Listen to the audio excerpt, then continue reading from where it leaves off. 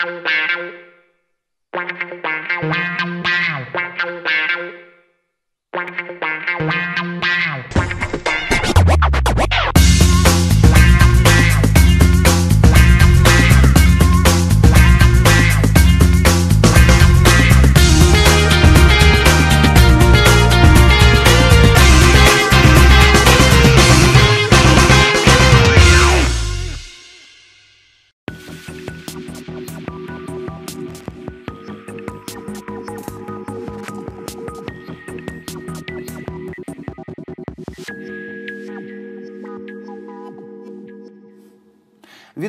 ефірі. Програма на часі. Мене звати Олексій Літвінов. От сталий принцип взяв гроші, поверни. Це абсолютно правильно, якщо домовленість між сторонами була абсолютно прозорою і чесною. Однак так буває не завжди. Чи є виключення з цього? Правила, яке стосується займів, кредитів, кредитування швидкого онлайну, банка, довгострокового, неважливо якого. Взяв гроші, поверни і виключення із цього. Правила цю тему сьогодні обговорюємо із е, Віталієм Головенько, правником і керуючим адвокатським бюро. Віталію, вітаю вас. Якщо ми говоримо про історію українського кредитування споживчого, то варто, мабуть, нагадати, що незалежності України немає ще і 30 років. Ми з вами, мабуть, навіть старші ніж незалежна Україна, але пригадуємо в радянські часи ніякого кредитування споживчого е, і такого різноманіття, мабуть, не було. Бум кредитування в Україні чи правильно віднести його до 90-х років, і з чого все почалось? Ну, власне, да. Я погоджуюсь з тим, що такої різноманіття в радянські часи не було, але я вивчав, там була ситуація дійсно. Там теж було кредитування, але більше певні форми певні форми кредитування. Але тоді держава більше акцентувала увагу на кредитуванні від населення держави. Тобто це всілякі займи і тому подібне, там розіграші. Там для ну, ми того, власними щоб... податками і досі наповнюємо державний бюджет більше ніж наполовину. Ну, власне, за тою державою живе, тобто за цей кошт, за кошт наших податків. Так ось 90-ті роки з'являється дике. Е, фінансування всього. Ніхто не знає, що робити з грошима, як ними користуватися і так далі. Всі знають якісь слова там кредити, інфляція, дефляція і тому подібне, але ніхто не розуміє, що це відбувається. Бо економічну освіту, навіть ті, хто мали економічну освіту, вони мали її на базі марксистсько-ленінських е, постулатів і. Власне, про саму дику економіку, якою стала вона в 90-ті роки, ніхто не має е, розуміння. Так ось в 90-ті роки з'являються банки, з банками з'являється необхідність щось робити з коштами, кудись їх вкладати, комусь їх віддавати. Якось має відбуватися прирост.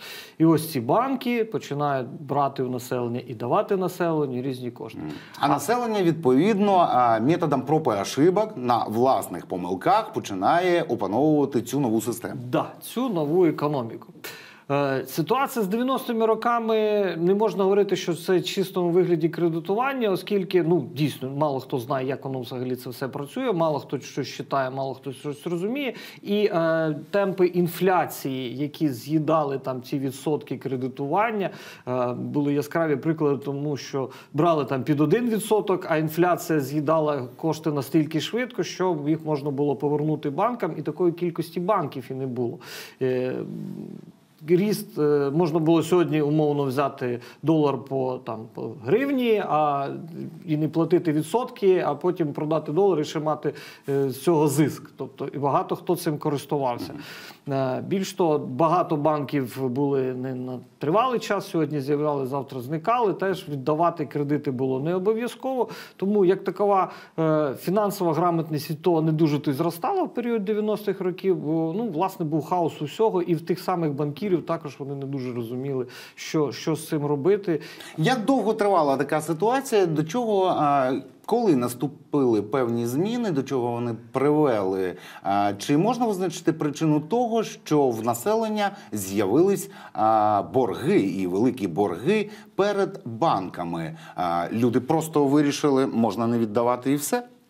Коли е, власне закінчилася основна частина великої приватизації на початку 2000-х років, у банків накопичувались великі суми, які вони не знали вже куди вкладати, і тому вони були ну власне змушені переорієнтуватися і на на населення, не лише на крупних на крупний бізнес. Так ось вони почали ці кредити ну майже всовувати людям. Я пам'ятаю там. Е, серединах 2000-х кредитні картки роздавали навіть в кафе. Заходили там дівчата і казали, ось вам кредитна картка, тільки заповніть, зайдіть в відділення банку, і там вже буде кредит. Е, таким чином, залучаючи кошти, які були в населення, скільки вони лежали там під матрасами. І ці кошти потім банк намагався якось вже оприходувати і щось з ними потім робити. І ось тут. Відсоткова ставка була невелика, економіка стала більш-менш стабільною після 90-х років. Населення могло більш-менш орієнтуватися в своїх доходах і обережно брати ці кредити. Вони їх обережно брали, і е, кризис таких неповернень був невеликий. Е, з декількох причин населення не було так багато грошей і дуже обережно ставились до такі, такого роду фінансових операцій. Тому невелика кількість людей була задіяна, і невеликі суми були задіяні. І е, стабільність, відносна стабільність економіки е, дозволяла розраховуватися вчасно по цим кредитам. Коли ж ми маємо вже Е, згодом е, світовий фінансовий кризис, коли багато чого рухнуло в світі, і до нас цей відголосок донісся на несформовану економіку, налетів цунамі е, світового економічного кризису. Я не економіст, але маю в цей момент зростання оцього кризису неповернення кредитних коштів як фізичними, так і юридичними особами, оскільки всі щось планували, якось розраховували, і тут виникає ситуація, коли вони не можуть повернути ці кошти, і вже тоді банки змушені звертатися до е, судів для того, щоб е, повернути ці кошти. І тут от виникає ситуація, коли суди були суди не готові до того, що це має відбуватися. І законодавча база, не маючи відповідного сталого досвіду стягнення боргів і стягнення, наприклад, іпотеки, заставного майна, е, суди виносили рішення. Кожен суддя виносив те, як він його бачив, оскільки судової практики якоїсь сталої не було. Тобто, ми не можемо, наскільки я розумію, говорити про те, що винним у неповерненні кредиту є лише лише і виключно на 101% та людина, яка його взяла. Можна визначити певну е, кількість об'єктивних чинників, які склалися, і в сукупності це просто призвело до ситуації, що людина просто не спроможна повертати е, борг. Я би е, трохи розширив це визначення, повністю з ним погоджуючись, але хотів би наголосити на тому, що всі це зрозуміли. Коли банк дає гроші в борг, це не е, благочинність, це не те, що банк робить якусь послугу людині, виручаючи якісь це комерційна операція, на якій банк заробляє, і вона нічим не відрізняється від інших комерційних операцій, які здійснюються не лише банками. Тобто банк... Тобто це бізнес із всіма його ризиками. Всіма. Ви сідаючи в таксі, також маєте ризик того, що автомобіль не доїде, поламається і так далі. Ви ці ризики приймаєте. І водій, розуміючи, що ви приймаєте ці ризики, також їх бере на себе відповідальність вас довести. А у вас виникає відповідальність оплатити цю поїздку. Так само і в банку. Це не благодійність. Банк оцінює всі ризики, того, що ви не повернете кошти, дуже їх усвідомлює. Якщо він робить вигляд, що він їх не усвідомлює, то банк каже не зовсім правду, оскільки кредити, мало того, що е, ризики оцінюються, вони страхуються, є забезпечення банку. Банк вимагає у вас якісь гарантії. Е, в свою чергу. Коли ви кладете депозит е, до банку, ви ж не берете в банку гарантію, ви не берете в нього заставу і, і якихось осязаємих гарантій повернення банк вам не дає. Да? Тому і ви теж, кладучи гроші на депозит, також маєте зважити ризики неповернення. Це також комерційна операція. Тому Але у загальній уяві, а тим більше е, в уяві зі сторони банку, а під час і суд- е, суддів винним залишається все ж таки та людина, яка не спроможна сплачувати кредит. Така собі темна сторона е, неплатоспроможних кредитів. Коли ми про це говоримо, то складається враження, що це судова тяганина, яка падає на плечі людини. Це погана кредитна історія. Це маса незручностей, час, нерви. Але чи е, варто говорити далі про те, що це і зруйновані родини, підірване здоров'я, а можливо, і чиєсь втрачене життя? Так, так. Але це е, скоріше психологічна сторона цієї проблеми. Я ж можу говорити про юридичну і про наслідки юридичних подій. Е, наш, ну, громадяни України не звикли ходити до суду. Вони вважають, що будь-який похід до суду це щось е, з космосу, і це все тяжко, дорого і не вартує того, і не треба цього робити. Треба міняти психологічний підход до того, оскільки це про те, що ми говоримо, це комерційна операція, то є дві сторони, в яких є два погляди на цю ситуацію. Якщо ми говоримо категоріями вини, тобто вина це відношення особи до того, що відбувається. Це може бути навмисно і ненавмисно. І це вже під собою підрозуміває різний підход до того, що має розвивати. Якщо людина ненавмисно не має змоги це сплатити, щось відбулося в ситуації, то, на мою думку, на моє переконання, банк має зважити на це і запропонувати якісь інші умови, розглянути ситуації, коли е, можливо даються подат... е, кредитні канікули, коли не сплачується якась там частина боргу, або розсрочується сплата боргу, або знімаються якісь відсотки. І це має банк на це зважити. Віталію, про такий механізм повернення банком своїх коштів, можливість надану е, людині повернути свій борг. Ми ще поговоримо впродовж нашої розмови. Але ви сказали про те, що так, це категорія вини людини, усвідомлення. В провини чи ситуації, в якій людина склалась, і це така психологічна проблема. Я запропоную вам і нашим глядачам переглянути одне відео. Ви сказали про те, що є дві сторони у цій проблемі: боржник і банк. Але мені здається, є ще третя сторона.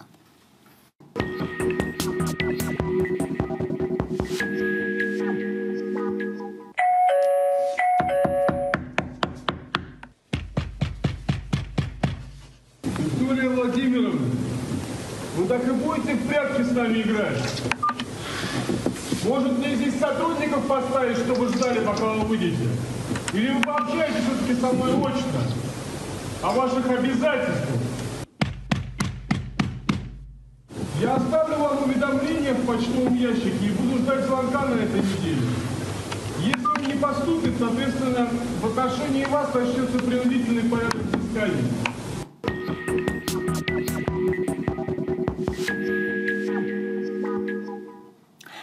Таке відео з вільного доступу на. А, така форма повернення кредиту. Славнозвісні колектори. Наскільки вона вписується у правову систему України? Наскільки це законно, і чи не є це тим самим тиском на психіку людини, яка знаходиться у скрутній ситуації? Те, що ми щойно побачили, як мінімум можна кваліфікувати за декількома статтями кримінального кодексу.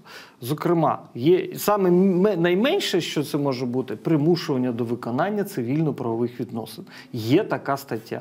Коли А наприкінці цього відео мені здається, така сама фраза і, прозвучала. Ми будемо змушені примусово е, вдатись до примусового чогось примусового. Будь-які примусові дії відносно громадян України можуть виконуватись виключно відповідними органами, а саме Державною виконавчою службою або приватними виконавцями. Да, є ще е, виконавчий напис нотаріуса, але його теж мають виконувати ці особи. Тому, якщо невідомі особи, в даному випадку ми це маємо, стукають до нас двері і вимагають гроші. все, що ми бачимо на цьому відео. Що ми можемо говорити? Невідомі особи вимагають гроші. Викликати поліцію. Викликати поліцію цілком вірно. Бо е, в жодному з договорів, які б ви підписували, немає пункту, що якщо ви не віддасте гроші, до вас прийдуть якісь люди і будуть, Незнайомі люди і будуть з вас щось вимагати. Людина Тобто не під час угоди, коли людина брала гроші, тих людей там не було. Не От було. Точно. Да. Якщо угода укладалась в письмовому вигляді, то і письмово має бути переписка, оскільки це є докази того, що щось хтось з вас вимагає. Коли невідома особа, уявимо собі ситуацію, дізналась, що у вас є кредит. Прийшла і таким чином вимагає гроші. І якось їх вас отримала там, чи забрали якісь речі. Що ми маємо? Шахрайство.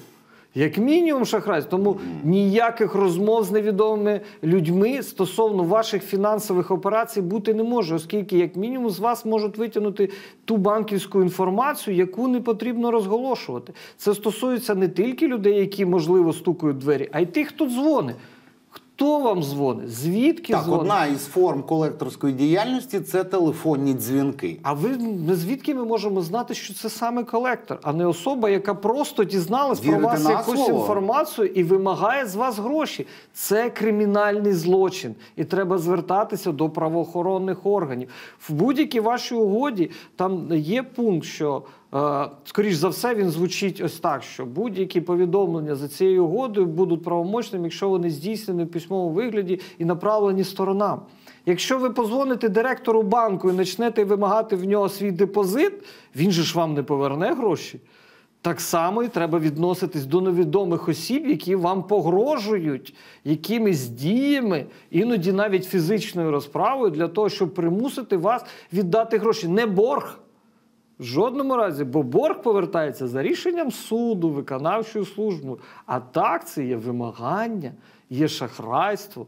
І не зволікайте, звертайтесь до правоохоронців. Коли ви стикаєтесь от з таким, от, е, ну це ви ще знайшли таке простеньке відео. Є навіть відео, якщо можливо. Пристойне ми маємо Де- все ж таки де- дотримуватись де- рамок. Е, Якщо Нас дивляться діти. Якщо люди, ну є відео там, де стріляють в таких людей, які представились колекторами.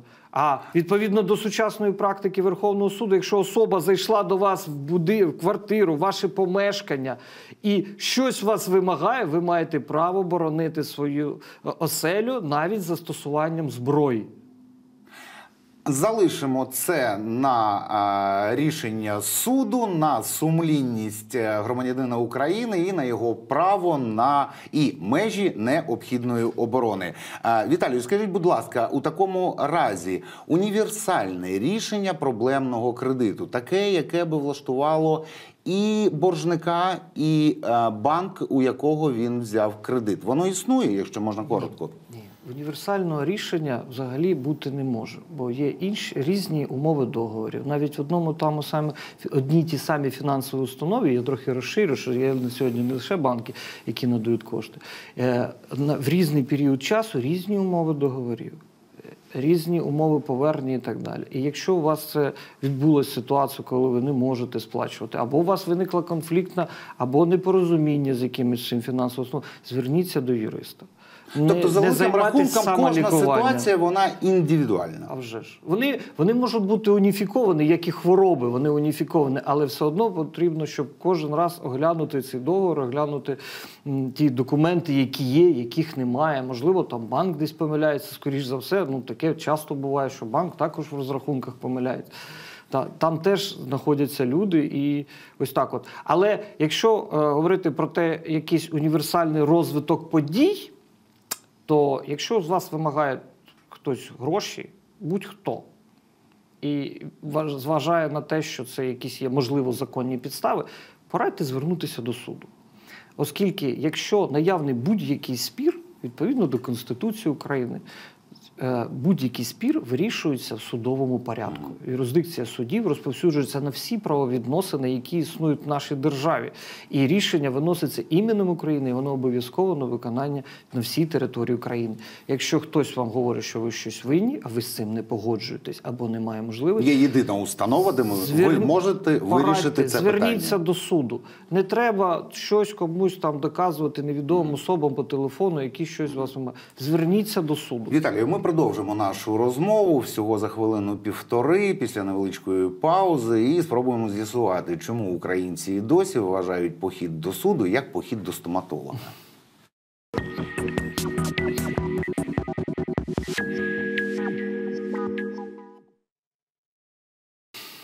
Продовжуємо нашу розмову. Позичальники і фінансові установи, які надають гроші у разі виникнення боргу або ситуації, коли людина опиняється у ситуації неможливості його сплати. Що робити, як це виглядає, і як це виглядає в суді? А у нашій студії правник та керуючий адвокатським бюро Віталій Головенько. Дійсно, звернутись до суду на цій вашій пораді до невеличкої паузи ми е, завершили нашу розмову. Український суд. І е, інколи похід до нього можна прирівняти для звичайного городянина як похід до стоматолога. А, Це лячно. Лячно отримати постанову суду, що ви боргуєте, що настануть е, певні наслідки, в тому числі і наслідки позбавлення вас як боржника вашого майна. Чи варто от в цій ситуації більшість вдається в паніку, і, а дехто навіть тікає з країни? Наскільки це е, все, дедлайн, посипаємо голову попілом, вирок, ну, постанова суду? Чи е, варто спочатку подумати, а що можна зробити далі? Ну, ще до отримання відповідного судового рішення треба звернутися до адвокатів і розібратися з ситуацією. Нічого страшного не відбувається насправді, оскільки це гроші, це не життя і здоров'я. Є набагато гірше, набагато складніші ситуації. Якщо відбувається ситуація, що ну от є вже рішення суду, от ну вже довели до нього. Ми його там оскаржували, не оскаржували. Маємо певне рішення суду, воно є на певних е, стадіях там виконання. Що може відбуватися? Перше, що буде робити банк? Він буде намагатися реалізувати ваше майно. Якщо у вас є це майно, він буде його реалізувати. В принципі, загальна практика говорить про те, ми, ми не говоримо про якісь шахрайські схеми, але люди, які беруть кредити у банку, їм бракує грошей, тобто і майна е, в них небагато. Є зовсім різні ситуації. Різні, є з але- майном і без майна. Тобто, в першу чергу, банк буде вишукувати це майно, є воно чи немає, е, і стягувати, накладати на нього стягнення. Далі буде е, стягнення на відповідні доходи. Ну, це все буде паралельно відбуватися. Якщо ви десь працюєте офіційно, да, буде стягнення на, на роботу прийде виконавчий лист і будуть стягувати до 50% від заробітної плати, не більше. Ну, Більше поки не що все виглядає не так вже і катастрофічно. Можна і далі жити, ходити на роботу, і на хліб з молоком залишаться гроші. Да, да, але це буде тривати дуже довго, ну відповідно від вашого боргу, і все майно, що ви захочете придбати, буде автоматично на нього буде там публічна заборона накладена, і воно буде реалізовуватися якимось там чином через банк.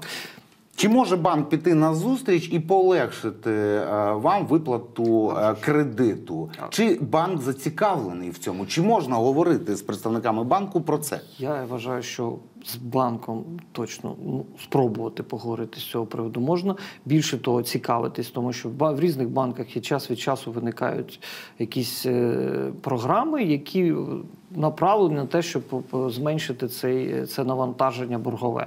Навантаження. Цікавтесь цими програмами, звертайтеся до банку, звертайтеся до суду. Я знаю, що навіть деякі адвокати в Вінниці заробляють виключно на тому, що вони знають, де яка програма, вишукують цих клієнтів і пропонують цю програму, нібито як свою заслугу. А Але вони про це знають. Вони, поцікавились да. і конвертували Ну, ці знання таким в гроші. чином вони заробляють на тих, хто хоче е, отримати кошти.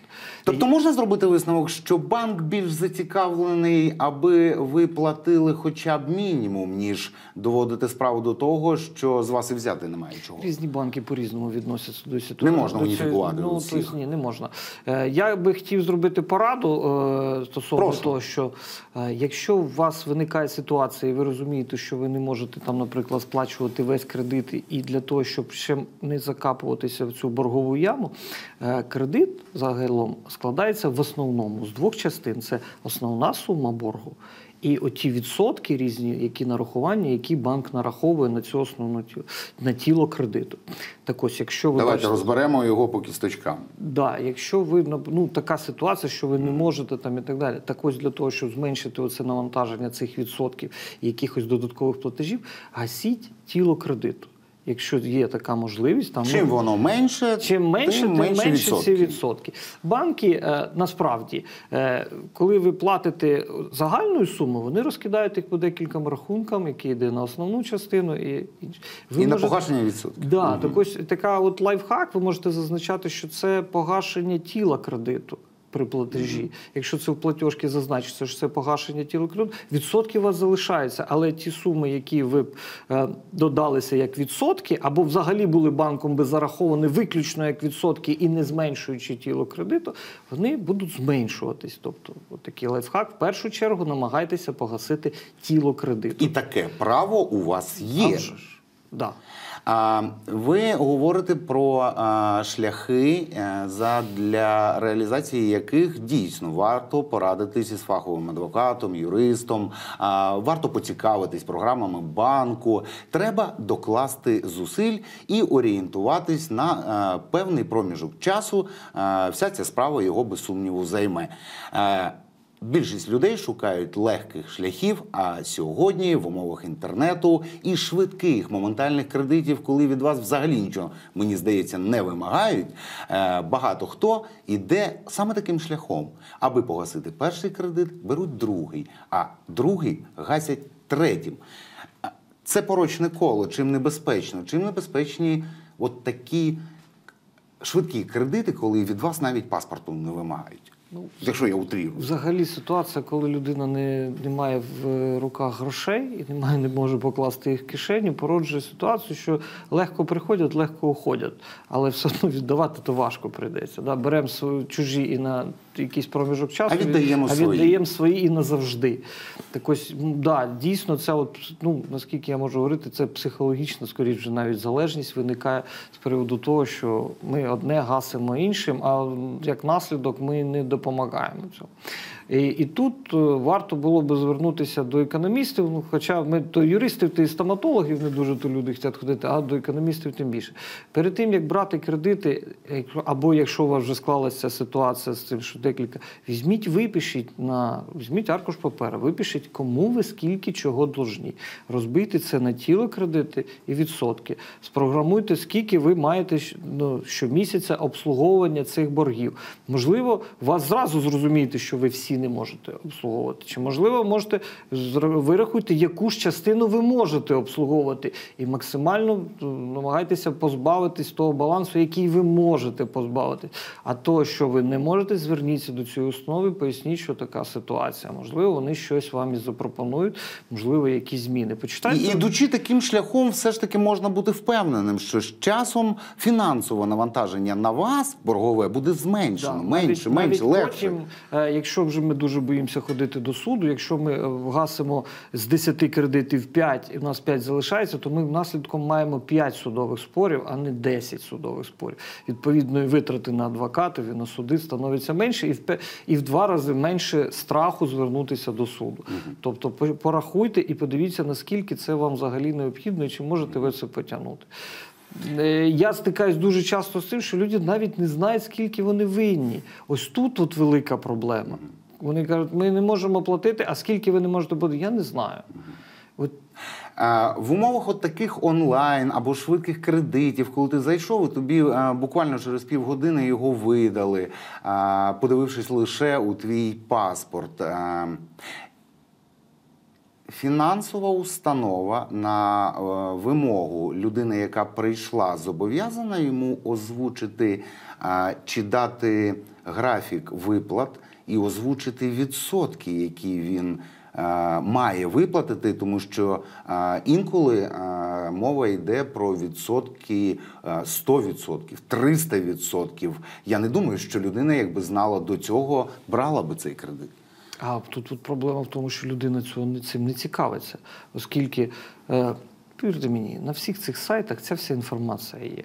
Вона не завжди от прямо от лежить на поверхні, треба пошукати, поритися, там, поцікавитися цю інформацію. Але... Шрифт може бути дрібний. Ну, та навіть не в шрифті, там багато гіперсилок, там переходів і так далі. Цю інформацію отримати іноді важко. Але ну, якщо людині це дійсно потрібно, то вона б це знайшла. А це зазвичай їм це просто не цікаво, тим, хто це це отримає. Але повертаючись до вашого запитання, в разі виникнення будь-яких запитань до будь-якої фінансової основи, ви можете звернутися до них для того, щоб вони вам роз'яснили, надали відповідні копії документів, відповідну інформацію, і не просто посилання десь там в інтернеті на якісь умови, які можуть бути змінними і не сталими. Принаймні, принаймні, ви будете мати якісь підстави для рішення і брати кредит, не брати кредит, і, і уяву про те, нас, про наслідки. Прохання до людей не не, не користуйтесь інформацією, виключно яку вам сказав там якийсь консультант. Консультант сьогодні є, завтра немає, і він може сам не дуже розбиратися в тому, що він надає. Просіть документи, намагайтесь їх почитати. Якщо вам щось не зрозуміло, звертайтесь якось офіційно. Тобто, якщо ми вже маємо кредит, зверніться, спитайте, хай вам пояснять, за що ви скільки должні винні і як це можна вирішити. Це питання. Впродовж нашої розмови прозвучала така категорія, на мою думку, абсолютно правильна. Надання банком кредиту це не благодійність. Це ділова фінансова угода абсолютно за правилами вільного ринку, і кожен від неї отримує свою користь чи має її отримувати. Останнім часом саме так у межах цього вільного ринку кредитування з'являються пропозиції про те, що ви можете викупити кредит. Це шахрайство чи це нормальна практика? Це, це нормальна практика. В чому вона полягає і кому вона вигідна? Є кредитні портфелі, які можна викупити. Вони їх викладають. Зокрема, є сайт Прозоро. Я можу про нього говорити в ефірі. Можете туди звернутися і подивитися, що дійсно продаються кредитні портфелі, борги, які можна викупити. В першу чергу це цікаво тим, кому цікаво якась нерухомість, тому що банку як такова нерухомість не потрібна. Їм банку потрібні кошти. А ці кредити, е, боргові зобов'язання зазвичай забезпечені якоюсь нерухомістю або іншим майном. І ось викупаючи цей кредитний портфель, ви можете отримати те, чим цей кредит забезпечений.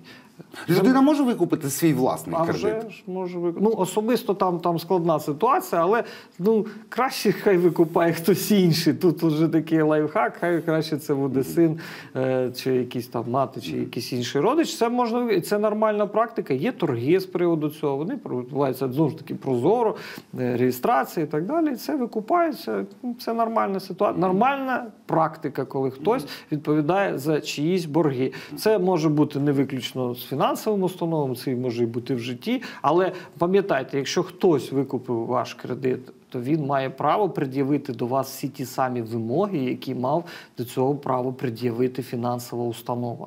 Якщо, як правонаступник да, як фінансової установи. правонаступник по цій угоді, mm. і пред'явити е, вимоги не в тій межі, які був викуплений цей борг, а на повну. Тобто можна умовно за копійку купити борг на гривню і вимагати цю гривню.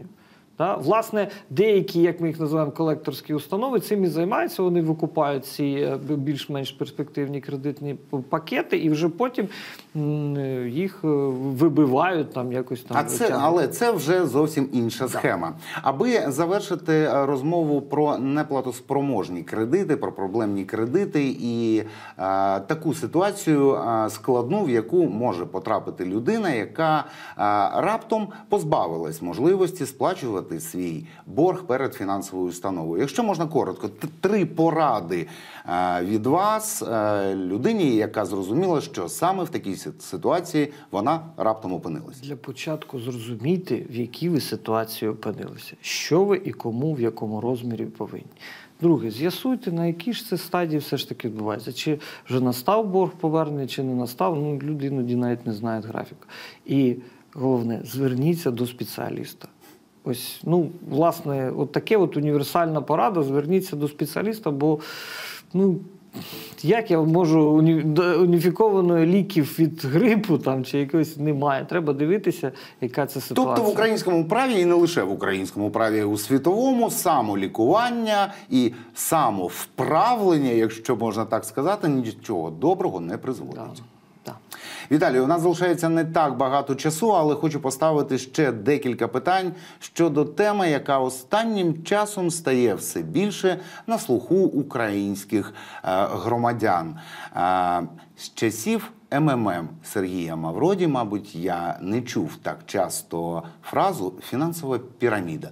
Що таке фінансова піраміда? Чим вона настільки приваблива, що свого часу тому самому Сергію Мавроді е, ледь не вдалося е, замінити російський рубль своїми облігаціями? Е, Часи повертаються, ця схема працює завжди. Наскільки вона законна? Вона цілком законна, і ця ситуація існує в світі значно е, раніше. Просто в умовах радянського союзу з цим було складно. Але в світі такі фінансові піраміди існують ну напевно з часів виникнення взагалі якихось е, коштів, грошей і якихось чим чим можна розраховуватись. Дай мені рубль віддасиш два. Е, ну, трохи зміненому вигляді ми маємо е, піраміду навіть в українській класіки, там 100 тисяч. Да, дай мені, а я тобі дам там фальшивих і так далі. Тобто воно все, все законне, оскільки це комерційна пропозиція. Вас ніхто не обманює так само, як з І не змушує. Не, не змушує, і його треба розцінювати виключно як комерційну пропозицію. І ви маєте так само, як банк, розуміти ризики цієї всієї ситуації.